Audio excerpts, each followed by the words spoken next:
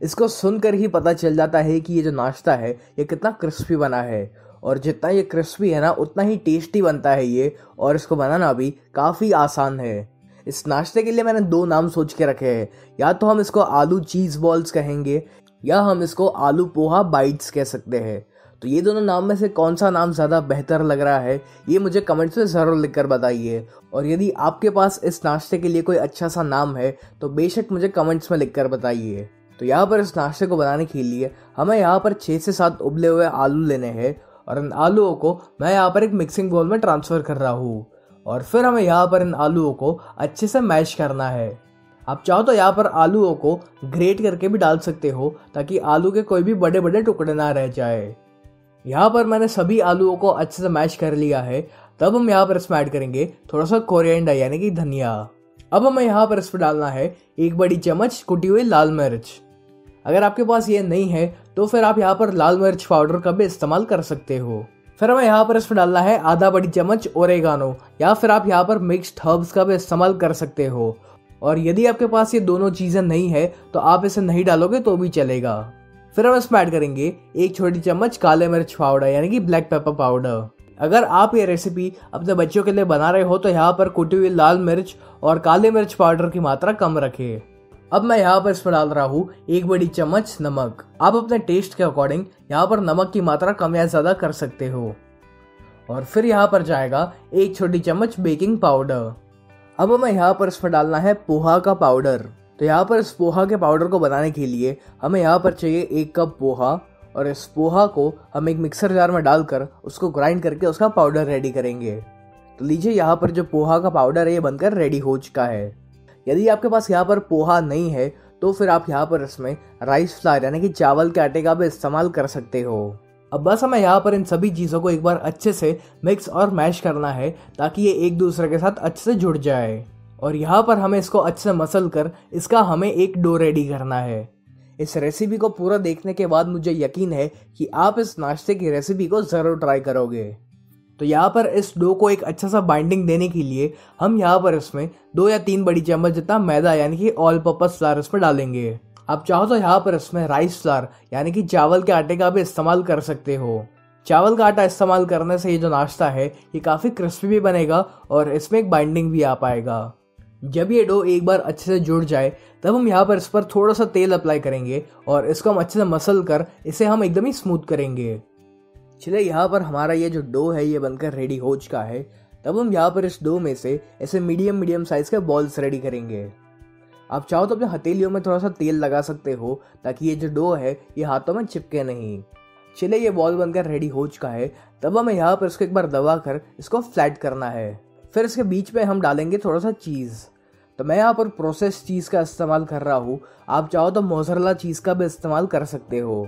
या फिर अगर आपके पास चीज़ की स्लाइस पड़ी है तो उसका ऐसा टुकड़ा करके आप इस्तेमाल कर सकते हो।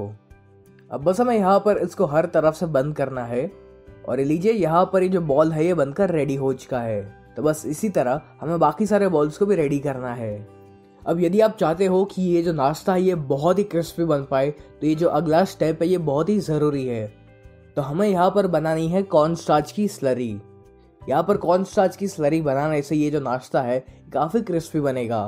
तो यहाँ पर जो कॉर्न स्टार्च की स्लरी है इसको बनाने के लिए, हमें यहाँ पर एक बोल में लगभग दो या तीन बड़ी चम्मच जितना कॉर्न स्टार्च लेना है। अब हम यहाँ पर इसमें थोड़ा सा पानी ऐड करेंगे और इसकी हमें एक पतली स्लरी रेडी करनी है। तो लीजिए यहाँ पर जो कॉर्न स्टार्च की स्लरी है, ये रेडी हो चुकी है और अब हमें यहाँ पर चाहिए कुछ ब्रेड क्रम्स तो ये जो ब्रेड क्रम्स है इसको बनाने के लिए आपको कुछ नहीं करना। बस थोड़े से ब्रेड को आप तोड़कर एक मिक्सी में डालिए और उसको ग्राइंड कर लीजिए और आपके जो ब्रेड क्रम्स है वो रेडी हो जाएँगे। तब जो बॉल हमने बनाया हुआ था, उसको हम यहाँ पर इस कॉर्न स्टार्च की स्लरी में एक बार डिप करेंगे। और फिर हमें यहाँ पर इस बॉल को ब्रेड क्रम से अच्छे से कवर करना है। ये स्टेप हमने इसलिए किया है ताकि ये जो नाश्ता है, ये खाने में बहुत ही क्रिस्पी बन पाए और इसका जो टेक्सचर है, वो भी काफ़ी अच्छा है इसी तरह आपको बाकी सारे बॉल्स को भी रेडी करना है। तो अब बारी आती है इन बॉल्स को फ्राई करने की और इनको फ्राई कैसे करना है, ये सबसे इंपॉर्टेंट चीज़ है इस रेसिपी की। क्योंकि अगर आपने इसको ठीक तरीके से फ्राई नहीं किया तो ये जो बॉल्स है, ये उतने क्रिस्पी नहीं बनेंगे और चांसेस है कि ये तेल में फट भी सकते हैं। तो इसीलिए एक बार देख लीजिए कि इनको फ्राई कैसे करना है। सबसे इम्पोर्टेंट चीज़ ये है कि आपका जो तेल का तापमान है, वो मीडियम गर्म होना चाहिए। यदि आपका तेल बहुत ज़्यादा गर्म होगा तो ये जो बॉल्स है, ये फटाफट से ब्राउन हो जाएँगे, लेकिन उतना क्रिस्पी नहीं बनेंगे। और यदि आपका तेल बहुत ही ठंडा होगा और एक साथ आप इसमें बहुत सारे बॉल्स को फ्राई करोगे तो ये सारे के सारे बॉल्स फट सकते हैं। तो इस बात का ध्यान रखिएगा।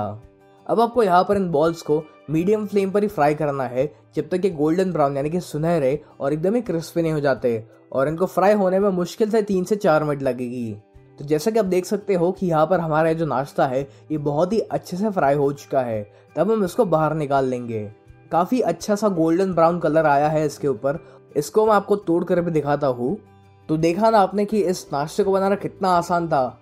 आज मैं आपके साथ एक बहुत ही सिंपल और कम तेल में बनने वाले नाश्ते की रेसिपी शेयर कर रहा हूँ। और इस नाश्ते के लिए सबसे बेस्ट नाम क्या रहेगा, ये आपको मुझे कमेंट्स में ज़रूर बताना है।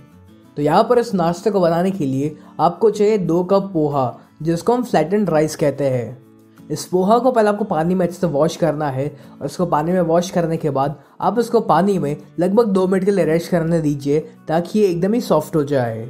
यहाँ पर मैंने पोहा में से सारा पानी निकाल लिया है और अभी काफ़ी सॉफ्ट भी हो चुके हैं। तो अब हमें यहाँ पर इसमें डालना है दो से तीन बड़ी चम्मच बेसन, यानी कि ग्राम फ्लावर अब हमें यहाँ पर इसमें डालना है तीन बड़ी चम्मच कर्ड यानी कि दही। अब हम यहाँ पर इन सभी चीज़ों को एक बार अच्छे से मिक्स करेंगे। ये जो नाश्ता है, ये बनाने में इतना आसान है और खाने में भी उतना टेस्टी बनता है ना, कि इसको एक बार बनाने के बाद आप इस नाश्ते को बार बार बनाकर खाओगे। अब हमें यहाँ पर इसमें कुछ कटी हुई सब्ज़ियाँ डालनी है। तो पहले मैंने यहाँ पर लिया है एक अनियन यानी की प्याज, जिसको मैंने एकदम बारीक बारीक चॉप कर लिया था। जो लोग प्याज नहीं खाते हैं, वो यहाँ पर प्याज का इस्तेमाल नहीं करेंगे तो भी चलेगा। फिर इसमें जाएगा एक शिमला मिर्च, यानी कि कैप्सिकम आपके पास यदि लाल या पीला वाला कैप्सिकम हो तो आप उसका भी यहाँ पर इस्तेमाल कर सकते हो। अब मैं यहाँ पर इसमें डाल रहा हूँ दो छोटे साइज़ के टमाटर। और मेरे पास यहाँ पर थोड़ा सा गाजर भी पड़ा हुआ था तो वो भी मैं यहाँ पर इसमें डाल रहा हूँ। आप चाहो तो यहाँ पर इस रेसिपी में मकाई के दाने या फिर पत्ता गोभी का भी इस्तेमाल कर सकते हो। अब मैंने यहाँ पर ली है दो से तीन बारीक कट की ग्रीन चिलीज यानी कि हरे मिर्च। यदि आप ये नाश्ता अपने बच्चों के लिए बना रहे हो तो यहाँ पर हरे मिर्च की मात्रा कम रखे। अब हम यहाँ पर इसमें कुछ मसाले डालेंगे।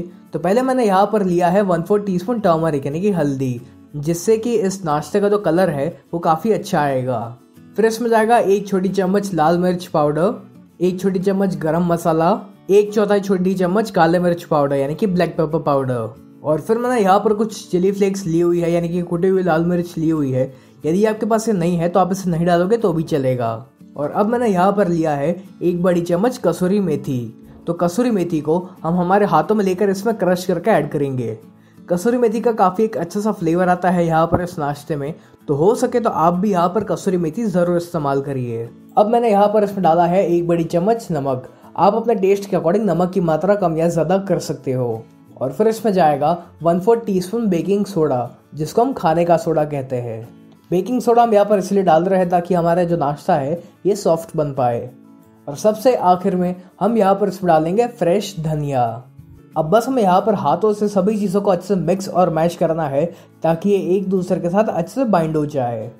फिर हमें यहाँ पर इसमें डालना है लगभग दो बड़ी चम्मच तेल, और इसी के साथ साथ आपको इसमें दो या तीन बड़ी चम्मच जितना पानी का भी इस्तेमाल करना पड़ेगा। अब बस हम यहाँ पर इन सभी चीज़ों को एक बार वापस मिक्स करेंगे। चले, यहाँ पर हमारा जो स्टफिंग है, ये बनकर रेडी हो चुका है। तो अब मैंने यहाँ पर एक ऐसा केक टिन लिया हुआ है। आपके घर में जो भी डिब्बा अवेलेबल हो, आप उसका यहाँ पर इस्तेमाल कर सकते हो। और इस केक टिन को हम पहले तेल से ग्रीस करेंगे, ताकि जब ये जो नाश्ता ये रेडी हो जाए तो इसमें से बहुत ही आसानी से बाहर निकल पाए। इस केक टिन को तेल से ग्रीस करने के बाद, जो स्टफिंग हमने रेडी किया हुआ था, वो हम यहाँ पर इसके अंदर ऐड करेंगे।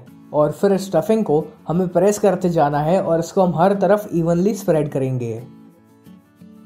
अब आपको यहाँ पर एक कढ़ाई लेनी है। आप चाहो तो इसके बाद एक बड़ा सा पतीला या फिर जो इडली का स्टीमर होता है, उसका भी यहाँ पर इस्तेमाल कर सकते हो। और इस कढ़ाई या फिर स्टीमर के अंदर हमें तीन ग्लास जितना पानी यहाँ पर डालना है। फिर हम यहाँ पर इसके अंदर एक ऐसे रिंग या फिर स्टैंड रखेंगे, ताकि हमारा जो टिन है, उसको थोड़ी सी ऊंचाई मिल सके। यदि आपके पास रिंग या फिर स्टैंड अवेलेबल नहीं है तो फिर आप यहाँ पर इस प्रकार की कटोरी का भी इस्तेमाल कर सकते हो। अब हमें यहाँ पर इस पानी को एक बार बॉयल होने के लिए रखना है। और फिर जब पानी बॉयल होना शुरू हो जाए, तब हमें यहाँ पर हमारे केक टिन को इसके अंदर रखना है। और फिर हम इसको ढक कर इसे हम हाई फ्लेम पर लगभग 15 से 20 मिनट के लिए पकाएँगे। यहाँ पर इस नाश्ते को अच्छी तरीके से स्टीम होने में तकरीबन 20 या 22 मिनट मुझे लगी थी। तो इसको चेक करने के लिए आप क्या कर सकते हो कि इसके अंदर आपको एक टूथपिक या फिर एक चाकू इंसर्ट करना है। और यदि आपकी टूथपिक या चाकू साफ़ निकलता है तो इससे आपको पता चल जाएगा कि आपका ये जो नाश्ता है, ये अंदर से भी अच्छे से पक चुका है। यदि आपका टूथपिक या चाकू साफ़ नहीं निकलता तो आप इसको और पाँच मिनट के लिए पका सकते हो। अब हम यहाँ पर इसको बाहर निकालेंगे और इसको हमें पूरी तरीके से ठंडा होने देना है। जब ये गरम गरम हो, तब आप इसको बाहर मत निकालिएगा, वरना ये टूट जाएगा। तो इसीलिए इसको पहले पूरी तरीके से ठंडा होने दे और जब ये नाश्ता अच्छे से ठंडा हो जाए, तब आप इसके आजू बाजू इस प्रकार से चाकू घुमा लीजिए, ताकि ये जो नाश्ता है, ये इस डिब्बे में से बहुत ही आसानी से बाहर निकल पाए। और अब इसके ऊपर हमें कैसी थाली रखेंगे और इसको हमें पलटना है। और फिर इस डिब्बे को आप इसे दो तीन बार टैप कर लीजिए, ताकि जो नाश्ता है, ये बहुत ही आसानी से बाहर निकल पाए। जैसे कि आप देख सकते हो कि यहाँ पर हमारे जो नाश्ता है, ये बहुत ही आसानी से बाहर निकल चुका है। ये जो नाश्ता है, ये दिखने में बहुत ही कलरफुल लगता है और खाने में भी काफ़ी टेस्टी लगता है। तो आप चाहो तो यहाँ पर इस नाश्ते को ऐसे ही खा सकते हो, लेकिन मैं इसके लिए एक तड़का भी रेडी कर रहा हूँ। तो इस तड़के को बनाने के लिए हम एक पैन में लगभग दो या तीन बड़ी चम्मच तेल लेंगे और इस तेल को हमें अच्छी तरीके से गर्म होने देना है। तेल जब गर्म हो जाए, तब हम इसमें ऐड करेंगे एक छोटी चम्मच मस्टर्ड सीड यानी कि राई, और इस राई को हमें अच्छे से चटकने देना है। राई जब चटकना शुरू हो जाए, तब हम इसमें ऐड करेंगे एक छोटी चम्मच सेसमे सीड्स यानी कि सफ़ेद तिल। इसी के साथ साथ हमें यहाँ पर डालना है थोड़ा सा कड़ी पत्ता, यानी कि करी लीव्स आप चाहो तो यहाँ पर थोड़ी सी हींग का भी इस्तेमाल कर सकते हो। चले यहाँ पर हमारा जो तड़का है, ये बनकर रेडी हो चुका है। तो अब जो नाश्ता हमने रेडी किया हुआ था, वो हमें यहाँ पर इसके अंदर रखना है और इसकी दोनों साइड्स को हमें दो दो मिनट के लिए सेकना है। चले यहाँ पर ये जो नाश्ता है, इसकी दोनों साइड्स अच्छे से सीख चुकी है, तब हम इसको बाहर निकाल लेंगे।